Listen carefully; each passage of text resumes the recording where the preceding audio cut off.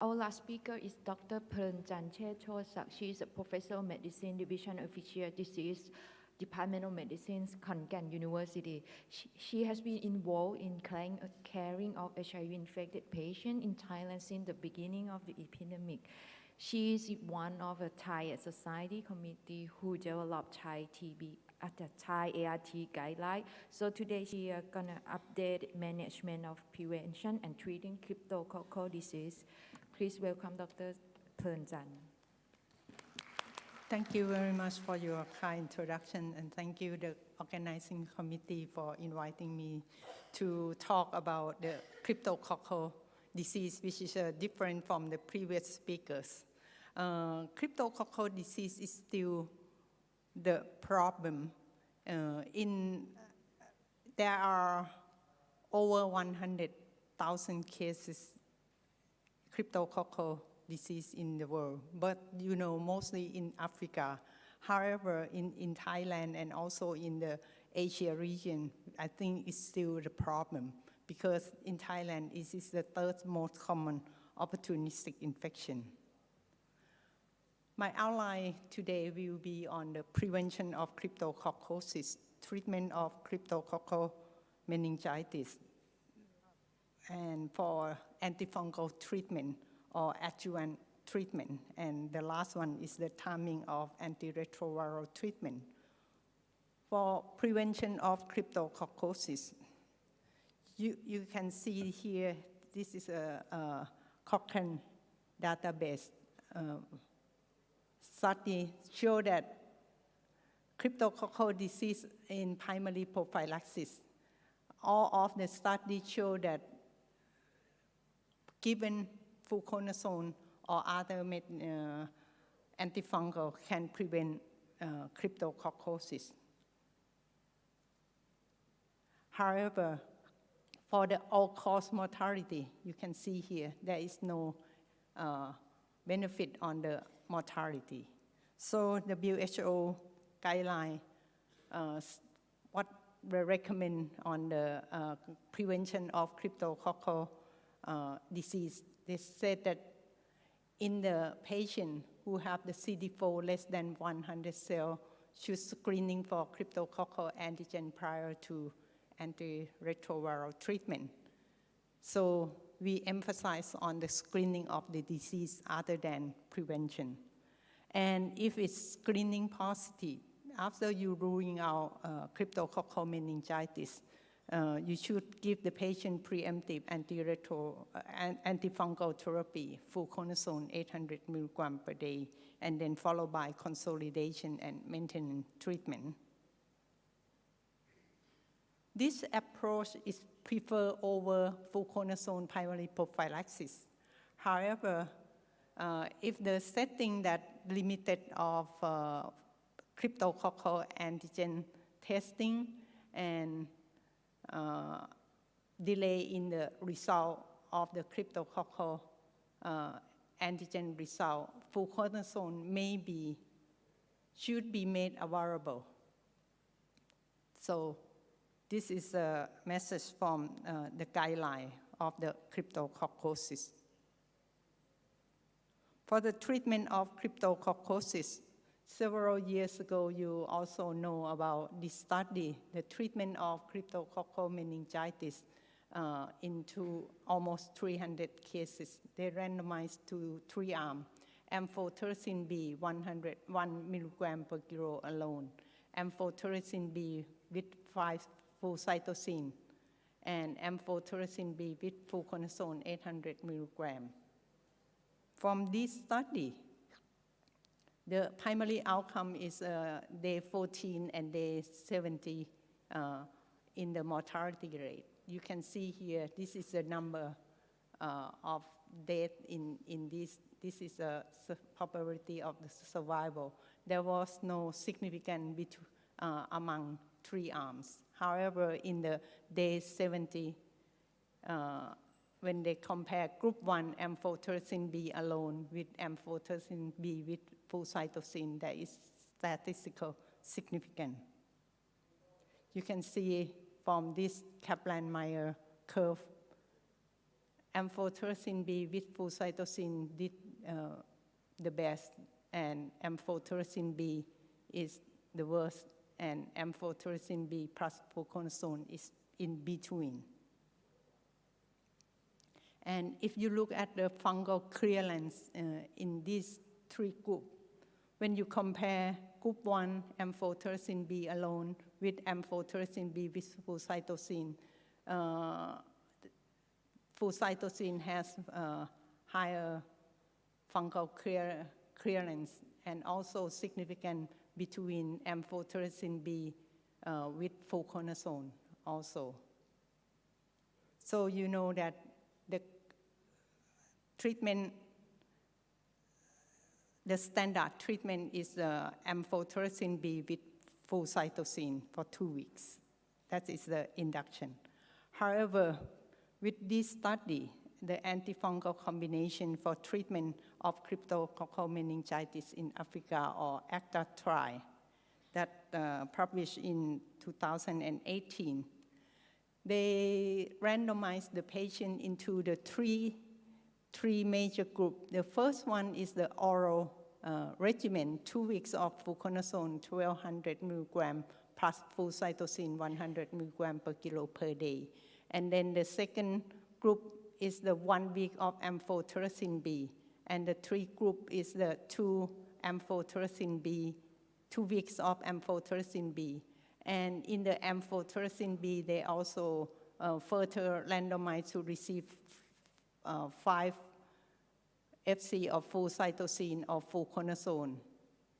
So there is a total of five arms in the patient who received one week of amphotericin B followed by fluconazole 1200 milligram per, uh, for one week.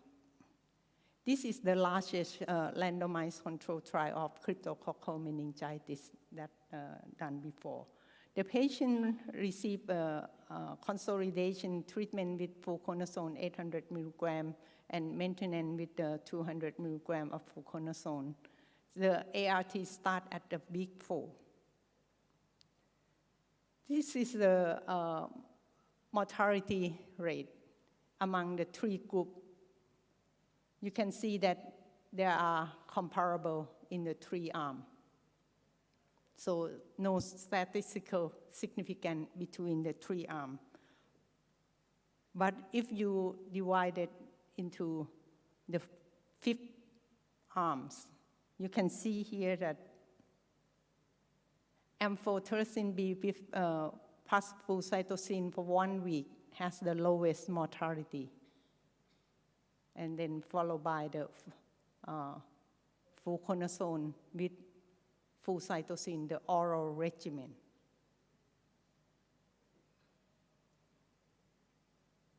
When you compare flucytosine and fluconazole uh, group, you can see that mortality rate is uh, higher in the full fluconazole group as compared to flucytosine.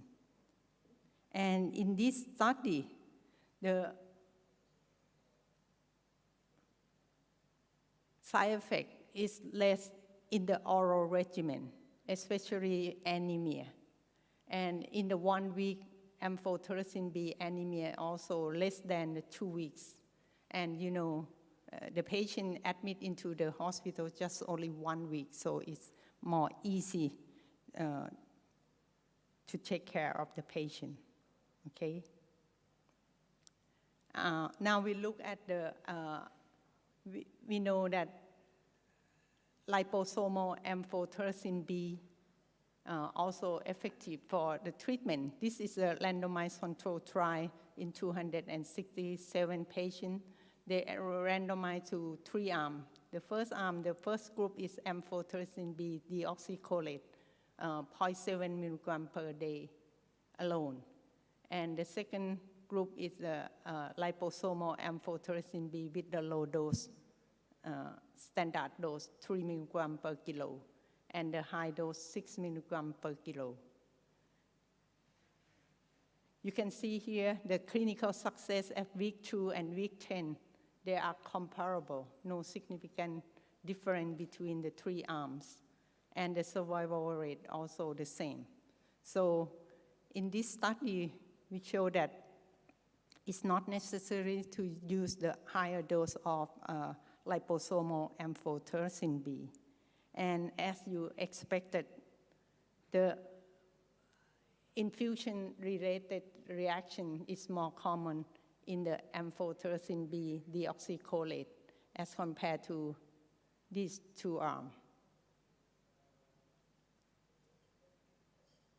So we know that uh, liposomal amphotericin B can be used at the standard dose. Now we look at any other new strategy of uh, using of uh, liposomal amphotericin B. Last year, there is a, a phase two randomized control trial to look at the short course of high-dose uh, liposomal amphotericin B.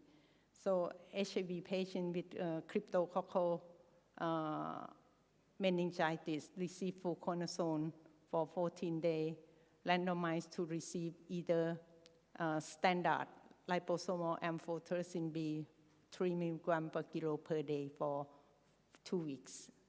And then uh, high dose of liposomal amphotericin B 10 milligram per kilo, but given just only single dose on day one. And uh, the third group is the liposomal amphotericin B 10 milligram per kilo on day one and 5 milligram per kilo on day three, two doses. And the last one is a 10 milligram on day one and 5 milligram per kilo on day three and day seven, so three doses. Since it is just only the uh, phase two study, they look at the uh, CSF sterilization. You can see from here there is no difference uh, in among these study in each arm.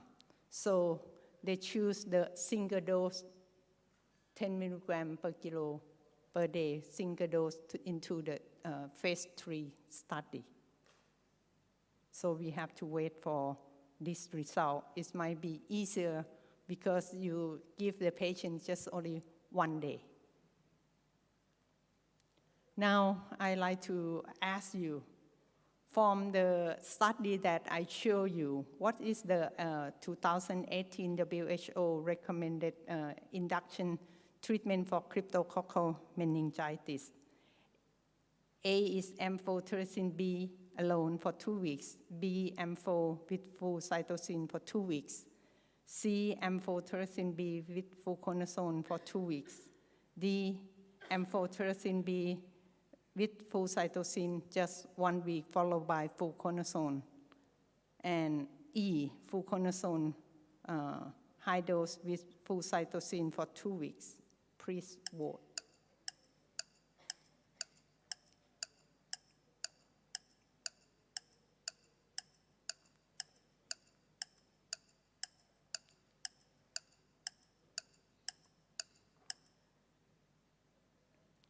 Okay, there is uh, the most common one is the D, and followed by B. B is ampho with flucytosine for two weeks. Okay, so this is the WHO guideline for the treatment. Just only one week of ampho amphotericin B deoxycholate 1 milligram per kilo per day with flucytosine, and then followed by fluconazole, 1200 milligram per day. An alternative option is two weeks of fluconazole high dose with flucytosine, or two weeks of amphotericin B with fluconazole. Okay. For the consolidation uh, treatment is fluconazole 800 milligram for adult. For maintenance, treatment is fluconazole 200 milligram uh, per kilo. Uh, no, not per kilo, per day.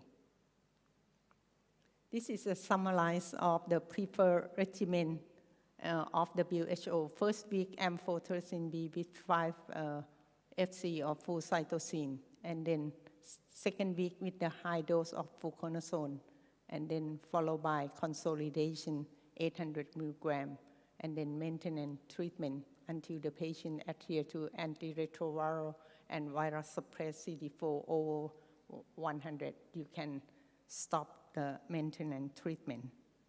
And alternative is uh, cytosine with high dose fluconazole or amphotericin B with high dose fluconazole.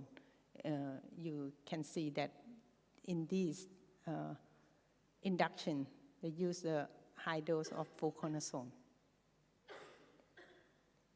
Now, we go to the CDC or IDSA recommendation for induction of cryptococcal meningitis. What is the recommendation?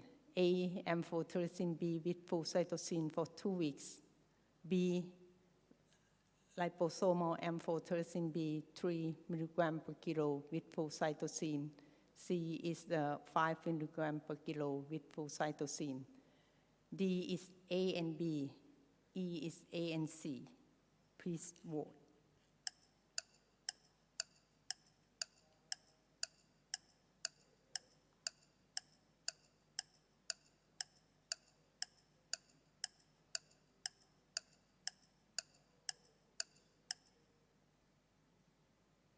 Okay, so you mostly get the uh, D answer.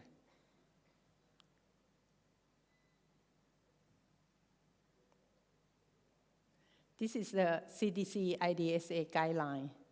Liposomal amphotericin B 3 to 4 milligram per kilo plus flucytosine uh, 25, but QID that is uh, 100 milligram per day, the same dose. And uh, you can choose the amphotericin B deoxycholate, uh, 0.7 to 1 milligram per kilo, plus flucytosine. So there are two options for uh, induction in uh, CDC and IDSA guideline.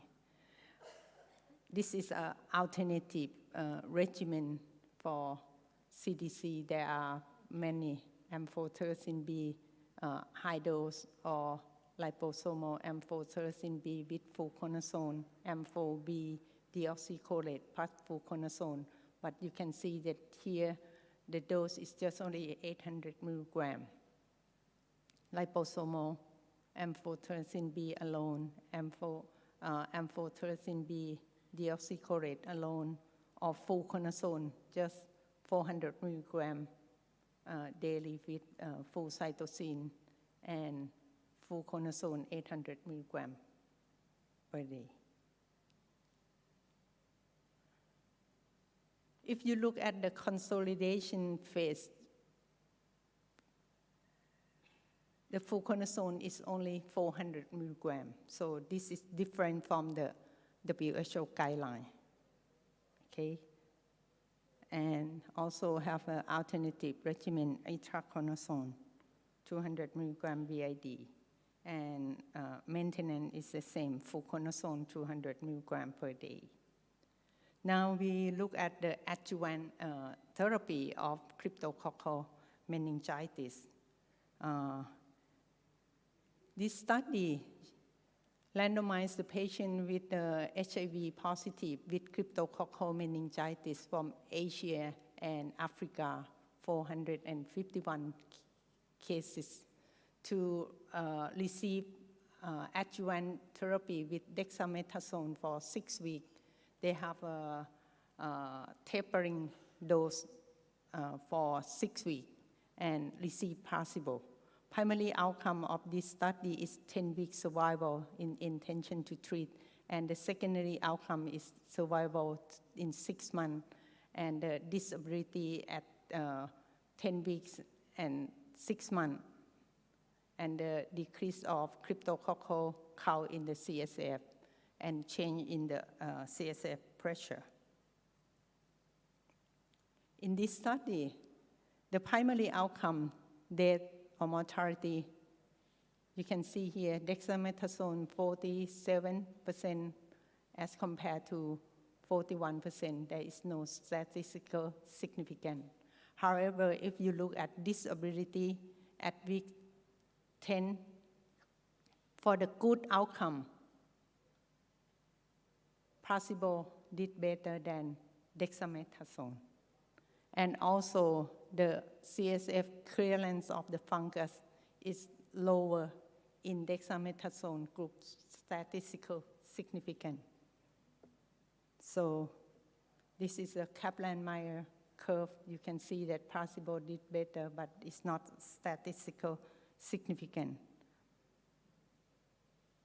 If you look at the adverse event, you can see here, infection or infestation is more common in dexamethasone group. Gastrointestinal disorder is more common. Renal or urinary uh, disorder also more common. Cardiac disorder also more common. For adjuvant uh, use of steroid is not recommended, okay? For another adjuvant uh, therapy, sertraline, which is an antidepressant, uh, in the in vitro, in vitro study and also phase two show the promising data that uh, sertraline might be uh, adjuvant therapy to the cryptococcal meningitis. So they did the uh, phase three study in HIV positive patients with cryptococcal meningitis. They randomized to receive sertraline or placebo arm. And you can see uh, this is a dose of sertraline. The primary outcome is the 18-week survival in intention to treat, and secondary outcome is the cryptococcal clearance in the CSF. They plan to enroll 550 participants. However, at this point, the trial was stopped for futility because there is no significant difference in the mortality between the two arms. And also the secondary outcome, there is no significant difference in, there is a lower uh, crypto IRIS 3% and 6%, but this is not uh, statistical significant. The last one is about the timing of antiretroviral treatment in cryptococcal meningitis.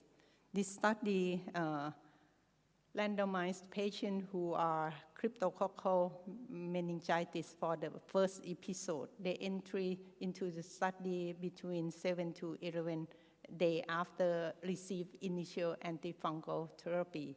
They randomized to two groups. The early initiation start antiretroviral within 48 hours after study entry before discharge, and the defer arm is wait until the uh, four weeks after study entry, after the uh, hospital discharge. From this study, you can see here the defer arm has better survival than the early antiretroviral treatment. So this is the different from other opportunistic infection like TB or PCP or other opportunistic infection, you have to treat the patient early after you treat opportunistic infection. But for cryptococcal meningitis, you have to wait until four to six weeks. And this uh, also for all patients and the six month mortality all prefer defer ART. And this is a, a timing for antiretroviral uh, initiation immediate is not recommended, should be deferred until four to six weeks. Okay, thank you very much for your attention. Thank you very much, Dr. Ploenchan. Any questions or comments? Okay, we have one question over there. Hi, uh, I'm Dr. Lin from Myanmar. So I uh, always confused about the uh, duration of the preemptive antifungal treatment of um, these patients. So as WHO stated that it is the same with uh, uh, cryptococcal meningitis treatment. So that's at least one year. So two weeks of induction, eight weeks of uh, consolidation, and, and at least one year of maintenance. So I personally feel that uh, this uh, regimen is very difficult uh, to convince the clinicians as well as the patient to complete uh, such a, um, long course of therapy. So I, I would like to know that in your center, do you, do you uh, practice this uh, WHO guideline? And if so, I would like to know what percentage of patients they can complete this uh, long preemptive therapy? That is my, my first question. And uh, second is that uh, the whole day today, uh, we have seen that uh, uh, for the TB prevent- preventive therapy, we are moving to the shorter courses. So likewise, in this cryptococcal field, is there any prospect of any shorter preemptive uh, therapy ongoing as, uh, as new studies? Thank you. Okay, the first one, I think in our setting, we also uh, follow by follow the WHO guideline. But as you say, that might be difficult for some patients, but we try to persuade them that this is a serious infection. If you do not uh, treat properly, you might get the cryptococcal meningitis. Okay. For the second, I, I didn't see any preemptive, shorter duration of the preemptive uh, treatment for this group of patients. Okay, thank you, Dr. Ploenchan, for your excellent talk.